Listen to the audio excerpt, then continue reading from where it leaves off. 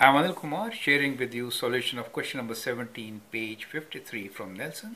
This is for my student Maria and I hope it helps all other students also. Sketch the graph and discuss continuity of the function f of x equals 2 x times absolute value of x minus 1 divided by x minus 1 when x is not equal to 1 and when x equals to 1 the value of the function is 0 right so we have an absolute function here Mario, whenever there is an absolute function, we have to look at it as a piecewise function, right? So let us redefine our function first. What is the meaning of absolute value of x minus 1? It means the value of this function is x minus 1 if x is positive value of this. Positive means x is greater than equals to 1. And it is equals to negative of x minus 1 if x is less than 1. So that is how it is defined. So whenever you have a function involving absolute function, you have to always see it in as two parts, right? So let me divide it in two parts first. Well graph here on this side, so I have enough room there. So let us first begin by writing the function. So we will think about the domain split into two halves, one x less than 1, the other one where it is greater than equal to 1, right? Now, we are given here that f of x is equals to uh, all this. So when it is less than 1, in that case f of x is equals to, uh, I mean not equal to 1 but less than 1, then the absolute part could be written as minus of x minus 1. So I'll write this as x times minus I'm writing outside of x minus 1 divided by x minus 1. And x minus 1, x minus 1 cancel, we get minus x. Now for greater than equal to 1, let us consider just greater than since it is not equal to 1. So we'll consider only greater than. So when x is greater than 1, then absolute function could be written as x minus 1. So in this case, I have f of x equals to x times x minus 1 divided by x minus 1, correct?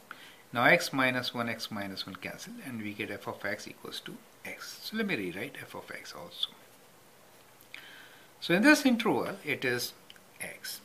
Now at 1, we know it is 0. So we don't have to worry about it. So that is how our function is. Now, it's easier for us to sketch, correct? So we have, in fact, three parts of this function. So the first part is when x is less than 1. So let us say this is this is 1 for us, let us say, okay? So if that is 1 for us, we know at 1 the value is 0 so so let's just put at 1 the value is 0 so this is the value at 1 so this is this part. Done. Correct? Now let's look into the first part which we have split into two halves. On the left side of 1 it is minus x. Right? So if I have a value 1 here minus will be minus 1 so kind of like this right? So but we have a hole here. Correct? Since this point is not included right? Now if I write x as 0, it will be 0, right? So that will be included. If I write x as minus 1, it will be minus 2. So in a way, what you find here is that this will be a line which will go like this. Is that okay? So that is the left side. On the other hand, if x is greater than 1, if I write 1 here, I get x equals to 1. So there is a hole here at 1 since that is not included. And as the x value increases, this line actually goes up like this to the right side. So what we have here is this point is 1 for us. This is minus 1. Here we have the function f of x. This is x for us. And that helps you to sketch the given graph. So whenever you have an absolute function split into two, so basically you're looking at function now like this. Let's rewrite this function. So we have three parts.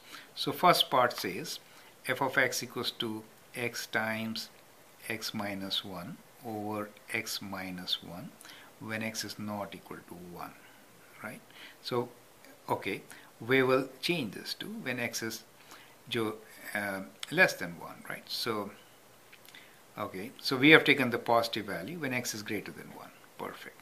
Then the second part we will write this as minus of x minus 1 over x minus 1 when x is less than 1 and when x is equal to 0 then the value is 0 so that is how the function is.